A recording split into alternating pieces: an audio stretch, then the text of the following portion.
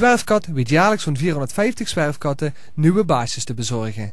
Het gaat vaak om afgedankte dieren, maar ook om hele nesten.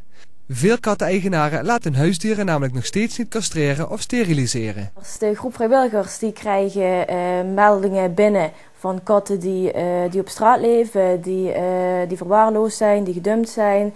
En uh, die komen terecht uiteindelijk door middel van de vrijwilligers in de gastgezinnen. En van daaruit wordt dan een goed huis voor de katten gezocht.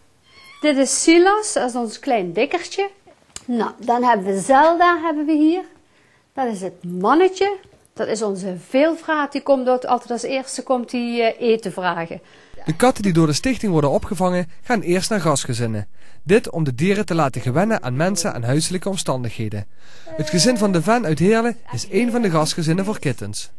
Heeft het bijna niet gered. Heeft een paar keer is ze heel ziek geweest en die is vorige week geopereerd en uh, die heeft oogje eruit gehaald gekregen. Maar ze is echt heel monter. Is echt ons zorgenkindje, hè schat. Hm? Daar moeten we nog een, nog een baasje voor zoeken. En anders, als ze niet is, dan blijft ze bij ons.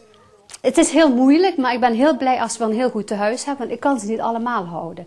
En kijk, en als ze dan weer weg zijn, dan ben ik eigenlijk weer, weer ja, vrij voor andere kittens die ze vinden, om die weer op te vangen. Sinds een jaar heeft Stichting Zwerfkat ook een opvang voor katten met aids. Inderdaad, ook katten kunnen aids hebben, al gaat het dan om een ander virus dat niet besmettelijk is voor mensen. Enkel katten onderling via bloed-op-bloed contact kunnen besmet raken. Dus uh, als dat vooroordeel weg is, dan maken zij ook veel meer kans op uh, plaatsing. Kijk, Harry bijvoorbeeld, um, die kan niet bij andere katten, omdat hij vecht met andere katten. En dat is gevaarlijk, dan loopt die eigen katten risico's.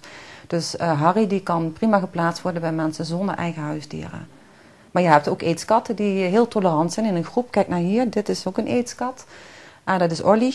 En Olly leeft in een groep van 13 andere katten, bij gezonde katten omdat olie geen gevechten aangaat en is er ook geen risico op bloed-op-bloed contact. Alle informatie over Zwerfkat en Buddykat vindt u op de websites zwerfkat.com en buddykat.be.